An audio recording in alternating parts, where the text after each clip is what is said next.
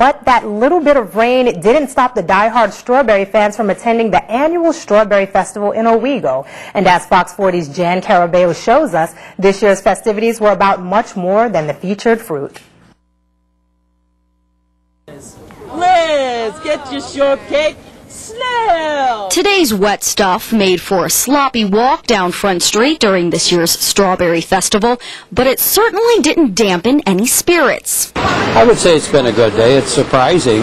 It's been a steady rain and they just keep coming. And having an event like this is just great for the community. And the 29th annual festival comes at the perfect time, lifting spirits in the village after news about 750 more looming job cuts at Lockheed Martin. People haven't been laid off yet, there's still hope.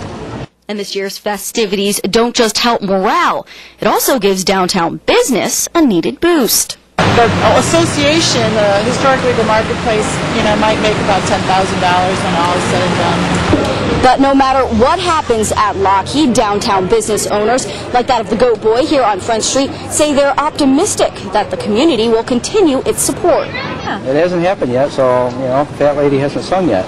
In Owego, Jan Carabeo, Fox 40 News, first at 10.